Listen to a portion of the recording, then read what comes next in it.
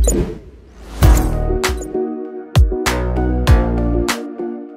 sebenarnya iya.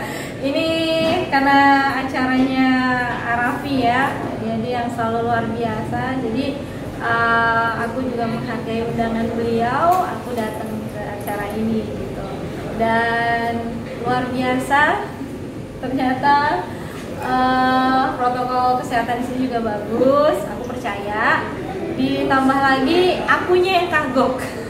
kagok bener. Uh, udah lama aku nggak syuting udah lama aku nggak keluar rumah nggak ketemu interaksi dengan uh, teman-teman gitu dengan orang-orang di luar. Jadi kagok gitu gimana ya mesti nyapanya gimana gimana itu ada kagok pasti iya Mhm. ada rasa was-was takut itu Mhm. pasti iya karena kan um, kemarin-kemarin aku selalu di rumah aja Iya.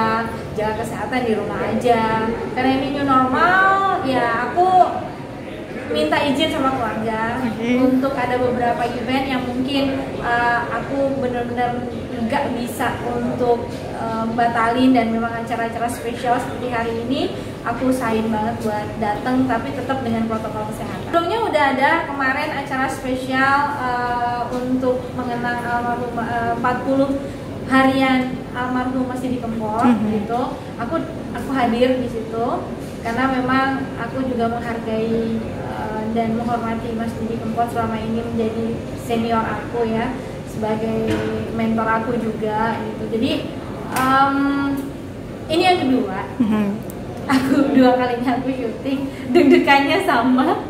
Dari keluar rumah aja udah aduh udah kayak kok aku kok gini sih? Gitu. Jadi kagok deg-degan makeup juga salah-salah. Karena ya em, apa ya kayak adaptasi kembali gitu.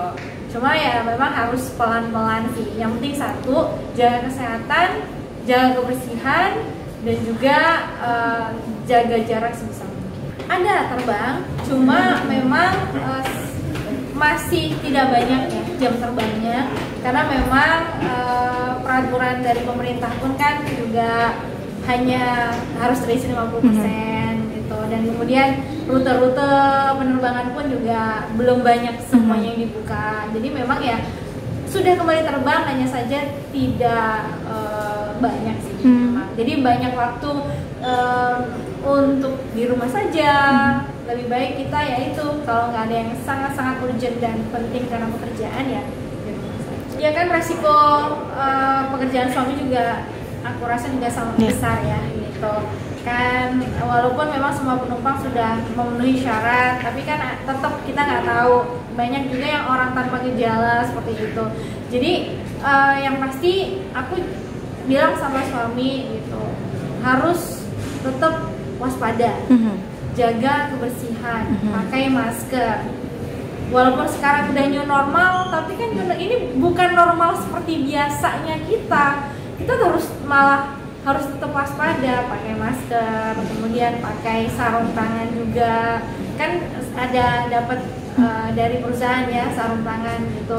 Terus sering-sering pakai hand sanitizer kalau nggak bisa cuci tangan. Mhm. Terus kalau pulang ke rumah harus disemprot dulu dengan air purifier, desinfektan, barang-barangnya seperti itu.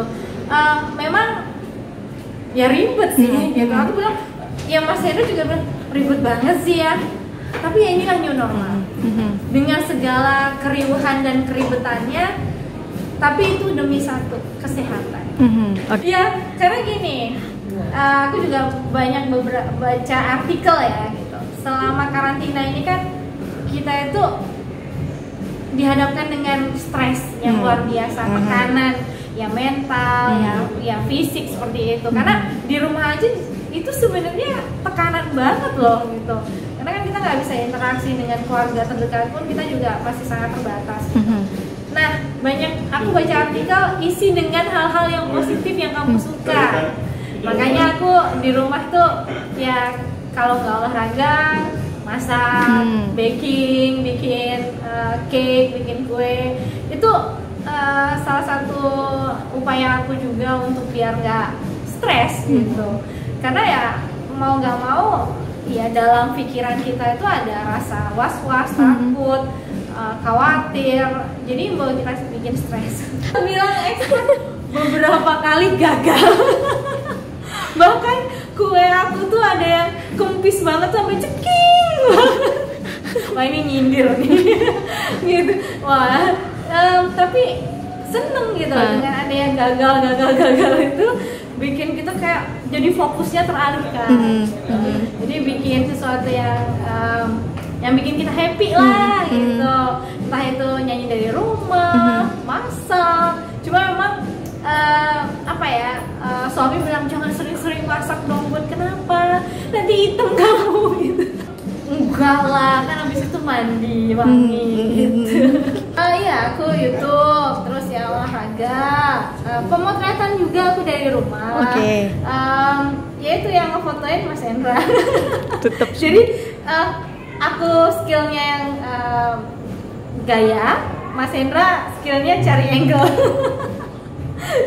Siapa tahu nanti setelah selesai corona em, saya jadi model atau Mas Hendra jadi fotografer gitu kan ya enggak cuma itu hal-hal yang membuat kita happy yang membuat kita eh, senang aja jadi mengalihkan ya kalau buat aku sendiri YouTube itu adalah eh, sarana aku buat biar gak stres Hmm. gitu. tapi kalau eh, aku mengandalkan pendapatan dari YouTube itu eh, enggak Hmm. aku ya alhamdulillah Mas Hendra pun masih dapat penghasilan walaupun ya saat ini ya semua lini pekerjaan banyak yang sudah dipotong gitu. Cuma ya alhamdulillah masih cukup. Karena gini kalau gaya hidup berapapun itu nggak akan eh, cukup Hmm. gitu. Tapi kalau biaya hidup alhamdulillah cukup. Hmm. dan alhamdulillah walaupun dengan segala kesederhanaan ini kita malah happy cukup. Oh ya malah aku bersyukur gitu. Mhm. Oke, Mbak